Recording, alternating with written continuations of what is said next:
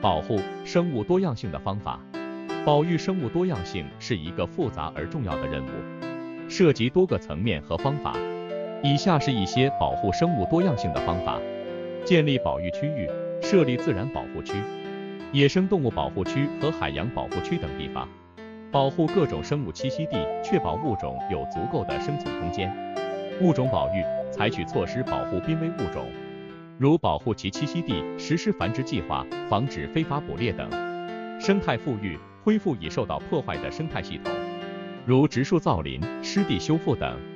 以提供更多的生态位和栖息地。控制入侵物种，限制入侵物种的传播和扩散，防止其对本地生物多样性造成破坏。永续利用，采取永续的方式开发利用自然资源，以减少对生物多样性的负面影响。教育与宣传，透过教育和宣传活动，增强大众对生物多样性保育的认识和意识。鼓励人们采取行动保护自然环境。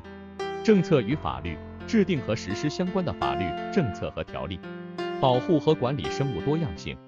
惩罚非法捕猎和破坏生态环境的行为。国际合作，加强国际间的合作与交流，共同因应全球性的生物多样性议题，如跨国野生动植物贸易、气候变迁等。科学研究与监测。透过科学研究和监测，了解生物多样性的状况和变化趋势，为制定有效的保护措施提供科学基础。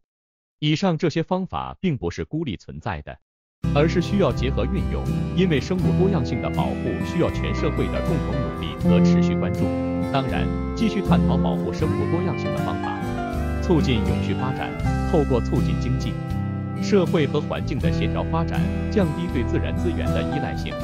减少对生态系统的压力，有助于维护生物多样性。生物多样性保育基金设立资金支持生物多样性保育项目，鼓励并支持各种保育行动。社区参与，鼓励和促进当地社区参与生物多样性保护，借助他们的传统知识和经验，实施符合当地实际情况的保护措施。技术创新，利用先进技术，如遥感技术、基因编辑技术等，监测和保护生物多样性，提高保护效率和效果。灵活管理，针对不同地区和不同物种，制定灵活的管理计划和政策，考虑到当地的文化、经济和社会因素，以最大程度地实现生物多样性保育的效果。生态旅游，进行永续的生态旅游，透过吸引游客的参与和支持。提高当地居民对生物多样性保育的重视程度，同时为保育工作提供经济支持。综合运用以上方法，并结合实际情况进行适当调整和创新，可以更有效地保护生物多样性，确保地球上丰富的生物资源得以长期保存和持续利用。当然，以下是更多的保护生物多样性的方法：气候变迁调试，因应气候变迁对生物多样性的影响。采取措施适应气候变化，保护生态系的健康与稳定。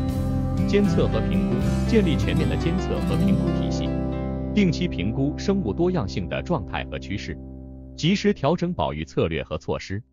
重点保护区域，针对生物多样性特别丰富或独特的地区，设立重点保护区域，加强对其保护和管理。跨界合作，加强跨国界、跨区域的合作机制。共同保护跨国的生物多样性资源，并防止跨界问题导致生物多样性的流失和破坏。扶贫与保育结合，将保护生物多样性与扶贫工作结合起来，透过生态旅游、生态农业等方式为当地居民提供经济收入，同时保护当地的生态环境。生物多样性教育，加强生物多样性教育，提高大众对生物多样性保育的认识和理解。培养人们的环保意识和责任感、道德和伦理观念，强调生物多样性保育的道德和伦理价值，倡导尊重和保护所有生命形式的概念，并推动人与自然和谐共生。民间组织参与，鼓励和支持民间组织、非政府组织等参与生物多样性保育工作，发挥他们的角色和影响力。这些方法并非穷尽所有可能。但他们提供了一系列可供选择的策略和措施，以应对生物多样性面临的挑战，并在实践中不断改进和优化，以达到更有效的保护目标。生态补偿机制，建立生态补偿机制，对生态系统的损失进行补偿，鼓励企业和个人承担生态环境保护责任。生物多样性资料库建立和完善生物多样性资料库，收集、整理和分享相关数据信息，为科学研究和保护决策提供支持和参考。社会创新与社会企业鼓励社会创新与社会企业参与生物多样性保护，探索新的合作模式与商业模式，促进经济发展与生态保育的良性循环。生物多样性法治建设，加强生物多样性法治建设，并改善相关法规体系，提升法律保护的力道与效果。国际交流与合作，加强国际间的交流与作，分享经验与技术，共同面对全球性的生物多样性挑战。科技创新应用，利用科技创新应用，如人工智慧、大数据分析等技术手段，加强对生物多样性的监测、预警与管理。长期监测与追踪，建立长期的生物多样性监测与追踪机制，持续了解物种数量、分布与状态的变化，并及时调整保育策略。这些方法可以作为生物多样性保育的参考和借鉴。实际的保育工作需要根据具体的地区、生态系和物种情况，灵活运用和组合这些方法，制定出符合实际情况的保育策略和措施。生态赔偿机制，建立生态赔偿机制。对于对生态系统造成破坏或损失的行为进行赔偿，以激励个人和组织采取更负责任的行动。生态补偿市场建立生态补偿市场，透过市场机制激励生态系的保护与恢复，促进经济发展与生态保护的协调发展。跨学科合作，加强跨学科合作，将生物学、生态学、经济学、社会学等学科知识结合。综合分析和解决生物多样性保育中的复杂问题。青年参与计划鼓励和支持青年参与生物多样性保护，培养和激发年轻一代对生态环境的关注和参与，为未来的生物多样性保育奠定基础。绿色基础建设推动绿色基础建设，包括城市绿地、生态廊道等，提供生物多样性的栖息地和通道，促进城市生态系统的健康发展。生态旅游认证。建立生态旅游认证制度，对于符合一定生态保护标准的旅游计划进行认证与推广，鼓励永续的生态旅游发展。城乡一体化规划，推动城乡一体化规划，